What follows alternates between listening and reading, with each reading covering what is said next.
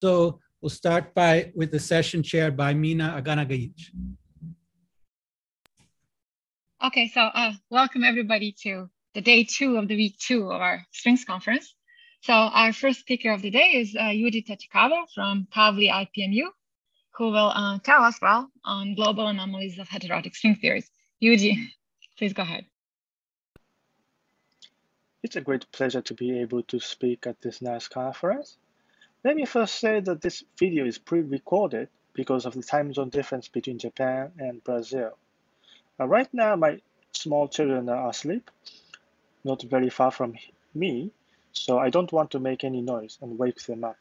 That would cause a lot of trouble for me.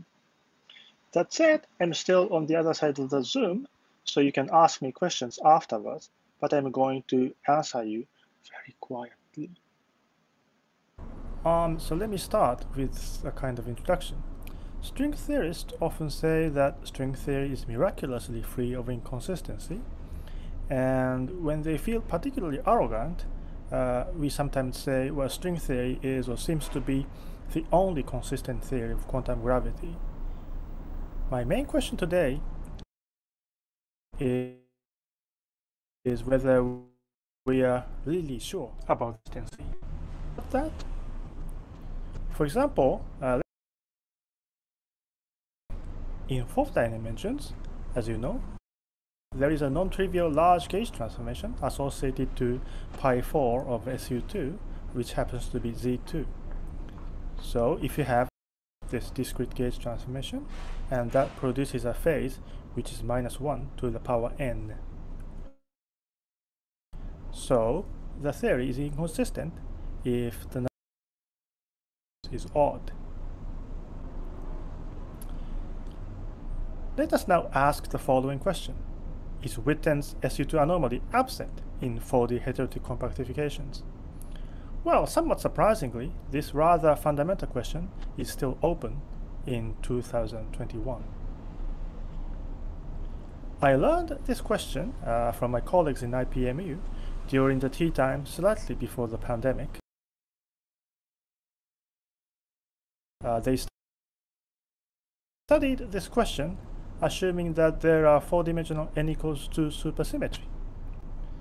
And they showed that the anomaly vanishes in many cases, but they didn't find a universal proof either. So their analysis was presented in a paper here, Enoki Sato Watari, uh, from May last year. Um, today, I'm not going to discuss this Witten's anomaly due to technical reasons. Instead, I'm going to discuss a related but slightly different global anomaly, which is a Z24 global anomaly in 2D heterotic compactifications. And the aim of this talk is to show that it vanishes. Um, for this purpose, I'm going to use the mathematical theory of topological modular forms and the associated Segal-Stolz-Teichner conjecture. So let me start. Let's first remind ourselves the perturbative heterotic strings construction. So let's consider heterotic compactification to spacetime dimensions d. The worldsheet theory of the string consists of compactified spacetime. They are fermionic partners. Together they contribute d to left moving central charge and 3 halves d to the right moving central charge. Therefore, in order to balance, you need to have in CFT, um, which has CL equal to 2D and given by 15 minus uh, 3 halves D.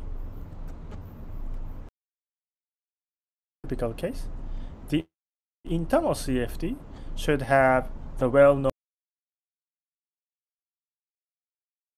value of CL being 60 and CR needs to vanish. As you know, there are only two possible choices. Uh, one is SO32, current perturbative anomaly miraculously cancels, as was first shown by Green and Schwarz, 1984. It then follows that the perturbative anomaly automatically for arbitrarily smooth geometric compactifications just because it vanishes in 10 dimensions. But the good thing about heterotic string is that you can use a genuine CFT which might not come from any geometry uh, as a internal CFT as long as it has the correct central charge. Matter whether the internal CFT classical or not. So that was done by Lair here, Nilsson, Schellekens, and Warner in 88. So the question of the vanishing of the perturbative anomaly is settled. What about the global anomalies?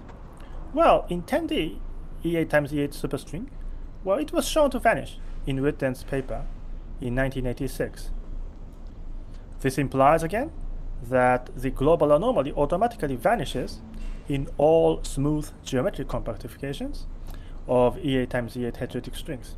But again, there can be non-geometric compactifications where the internal CFT does not come from classical geometry. So, let me talk about the particular two-dimensional anomaly I'm going to discuss. It's a bit complicated, confusing, because the worldsheet is 2D and the resulting super sorry spacetime theory is also 2D. The internal CFT in this case has to have this particular central charge a 24 count 12 and we need to count how many massless fermions there are. For this purpose, well, you need to open the um, R sector vacuum states of the internal CFT and then the spacetime chirality is basically given by the right moving fermion number of the internal CFT. Therefore, uh, basically, the elliptic genus of the internal CFT encodes the net chiral number of fermions. So it gives the fermion anomaly. So let's say the elliptic genus of the internal CFT is given by this expression. So elliptic genus is the trace over the R sector Hilbert space with an insertion of minus 1 to the right moving fermion number. So this projects out the right moving modes to its uh, zero energy states. And you have a contribution from supersymmetric. Because the left moving central charge is 24, uh, this series from the term of the order q inverse. So let's say it's given by a q inverse plus b plus dot dot dot. Then uh, the standard technique shows that the leading coefficient a is the net of two-dimensional space-time gravitino, and b is the net chiral number of the space-time uh, spin one-half fermion. Therefore, the total fermion anomaly polynomial can be easily from a gravitino or contribution from a fermion is known, and it's given by this, minus 24a plus b times p1 over 48, where p1 is the Pontryagin class, which is basically trace r squared. So a gravitino contributes a 24th, tw sorry, 24 times that of a fermion. That's not the only contribution to the anomaly. You need to think about the B field one point function too. So string one loop perturbation theory automatically generates the B field part one point function of this form, and the coefficient n can be found by uh, string perturbation theory, which boils down to the uh, integral over the fundamental region of the SL2Z of the elliptic genus of the internal CFT, and it results in basically minus a plus b over 24, as was found in 95 and 96.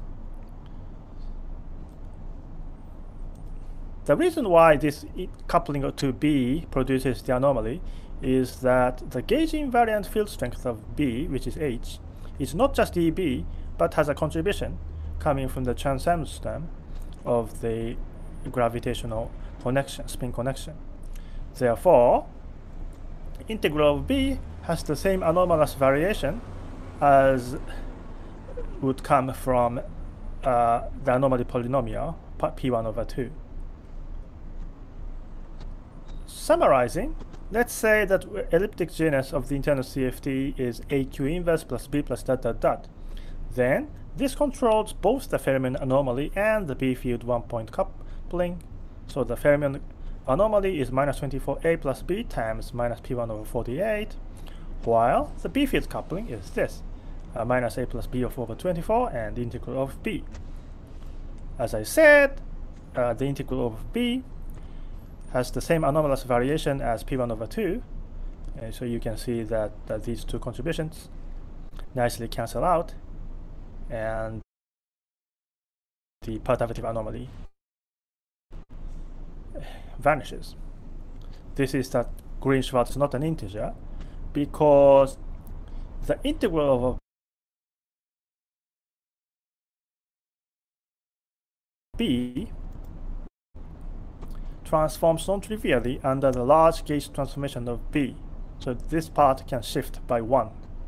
So if B over 24 is not an integer, uh, this coupling can produce a non-trivial phase which is uh, 24th roots of unity. So when B is not divisible by 24, uh, this particular system can have a Z24 valued global anomaly. So that's the global anomaly I'd like to do.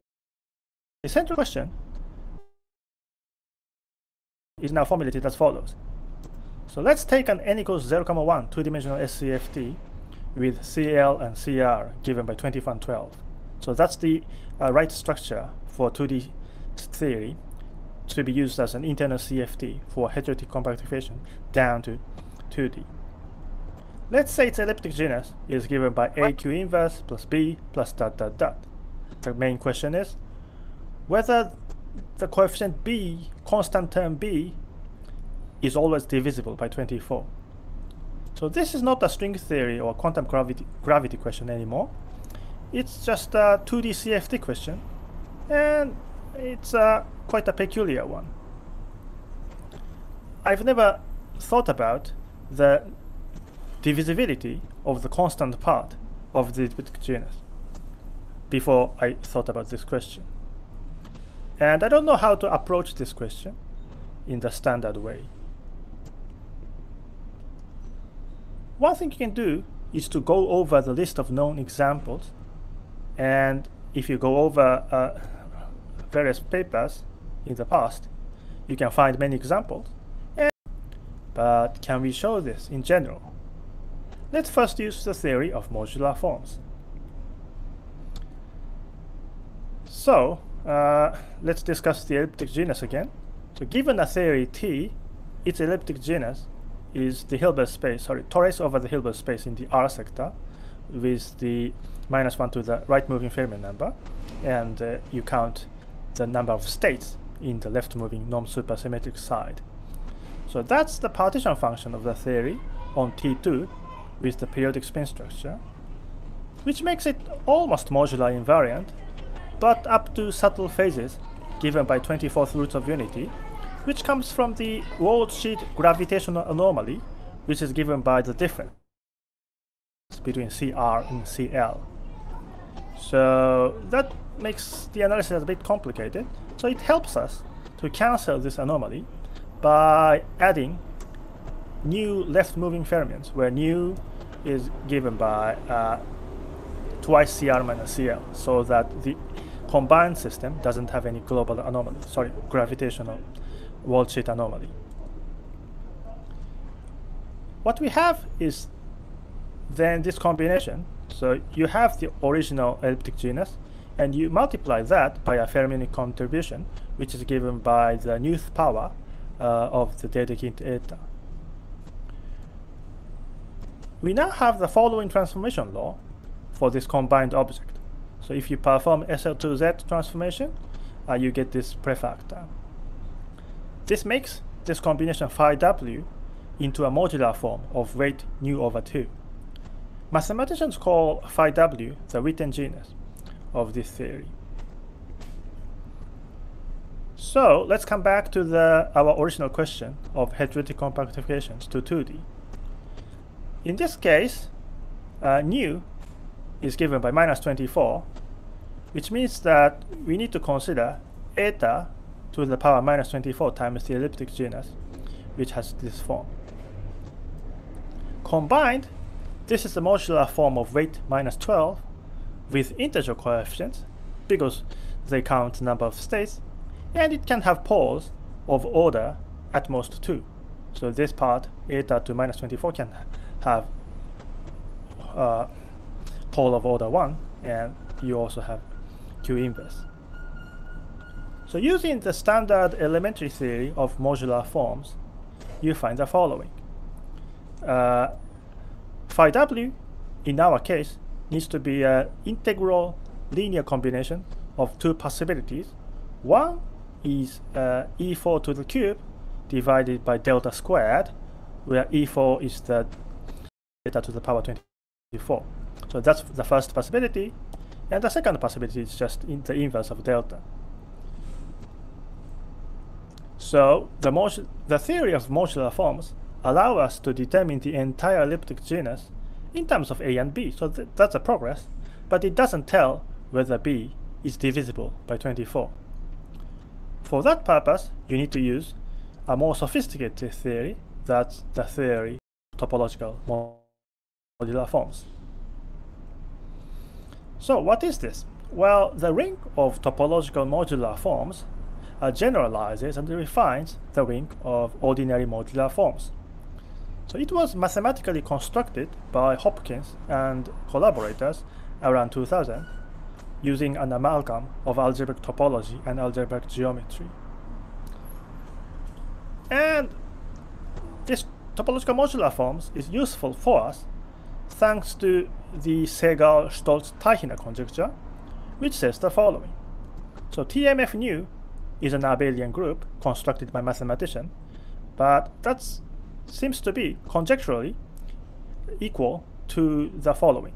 So you consider the space of two-dimensional n equals 0, comma 1 supersymmetric theories with a specified amount of nu, which is the difference between the left moving and right moving central charge, and you, you classify them according to uh, continuous deformations like irrelevant, relevant marginal deformations or RG flows, or adding some uh, SUSY breaking sector. In particular, if we are given a n equals 0, 1 SCFT T in two dimensions with a specified nu, uh, that should determine a class T in this abelian group TMF nu. So why is this conjecture plausible? Well, mathematicians, uh, when constructed, uh, when they constructed TMF, uh, constructed also a map phi w, which is a map from TMF nu to the set of modular forms of weight nu over 2 with integer coefficients and poles, which for us should correspond to sending a theory, two-dimensional theory T, to its Witten genus, which is an elliptic genus multiplied by delta into eta. Mathematicians also know how to describe uh, sigma models in terms of TMF class. So given a new dimensional manifold together with a B field satisfying certain conditions, uh, we should be able to describe two-dimensional sigma model with M as the target space together with a B field, and that should determine some uh, 0, 1 SCFT in 2D. So in view of the conjecture, it should determine a class in TMF nu and let's denote that as sigma, mu, and b. Mathematicians uh, also showed that when they combined th these two constructions of getting a TMF class and then mapping to the modular form, and then they get some uh, modular forms, but that turns out to be equal to uh, what we expect as a physicist. So in that case, uh, sigma model, uh, we know the sigma model, so we can compute the elliptic genus of that sigma model, and we can multiply that with Dedekind eta, and that agrees with what mathematicians constructed. So uh, that gives a partial uh, justification for this conjecture. The good thing about mathematicians' work is that they determined the image of this map phi w completely. So for example, uh, delta, which was uh, modular discriminant, to some power k, uh, is in the image of phi w if and only if the coefficient d is a multiple of 24 over GCD 24 comma k. So that's a weird statement. And let's use that. So our question was the following. We take 2D n equals 0 comma 1 SCFT with the central charge at 24 comma 12 and let's say its elliptic genus is a q inverse plus b plus dot dot dot. The question was whether the constant term b was divisible by 24 please recall that otherwise heterotic compactifications to 2d can have uh, a z24 global anomaly. We already argued just by using the ordinary theory of modular forms that the Witten genus of this theory is a linear combination of either this one or the other one. But the added information we now have is that assuming the conjecture and the mathematical result, uh, the image of phi w contains only a d delta k where d is a multiple of 24 over GCD 24 comma k. In our case, k is minus 1, right? So 24 divided by GCD 24 comma 1 minus 1 is 24. This means that the coefficient minus 744 times 8 plus b should also be divisible by 24, meaning that b itself is divisible by 24. That's what you want to show. Done. Great. But you would ask me, usually you started your talk by talking about Witten's SU2 anomaly. What happened to that? Well, more generally, the question of global anomaly of heterotic compactifications down to d dimensions with gauge symmetry G can be translated to the study of a certain TMF group. So that's a question in algebraic topology. That is a very difficult groups to compute, and I asked a number of friends of mine who are mathematicians, but nobody computed it for me. But one mathematician told me the following. Well, there's a way to show that the global anomaly vanishes uh, without doing any case-by-case -case analysis. The important point is to consider all cases at once and use the structural result of TMF. So that's a work in progress with Yamashita, a brilliant young mathematician in Kyoto, and I hope to report it in a preprint soon. Let me finish with some comments. Clearly, we are not really done, right? We simply transferred uh, the question of the global anomalies of heterogeneous strings to the validity of the Segal-Stolz-Teichner conjecture, right? So it's important, I think, to test the conjecture in our own way. Well, there are a couple of works doing exactly that, like this. And let me just add one implication of the conjecture so that you can think about it. So as I said, uh, the image of this map phi w has been mathematically determined, and in particular, uh, delta to power the power k is in the image of phi w only if, if and only if d is a multiple of 24 over gcd 24 comma k. So what does it mean? May mean many things, but one consequence in our language is as follows. Uh, so, if the elliptic genus of two-dimensional 0, comma 1 theory is simply 1, then the difference of the central charge, CL minus CR, is divisible by 288. Conversely, there should be a two-dimensional n equal 0, comma 1 theory whose elliptic genus is just 1 without any dependence on Q, and CL minus CR is plus minus 288.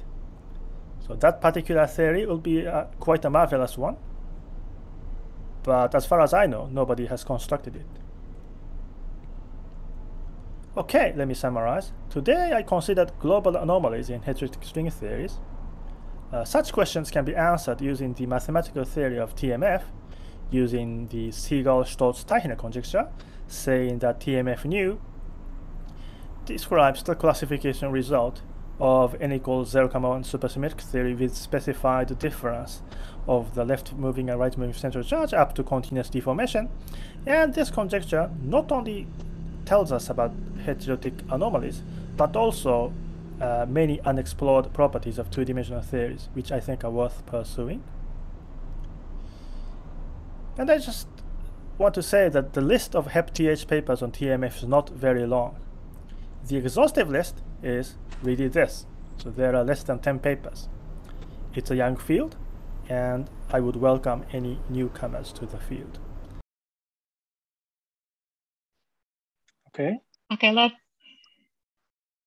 let's thank uh, Yuji for uh, a wonderful talk. I think we managed to weather the technological difficulties successfully with help of the community, which is a Yeah, thing. I'm sorry about All right, the low see. video quality. I, I think in the end it was manageable. Um, Okay. Let's see. Uh, questions. I see uh, Jeff Harvey has a question. Hi, Yuji. Hi. Uh, thanks, thanks for the nice talk.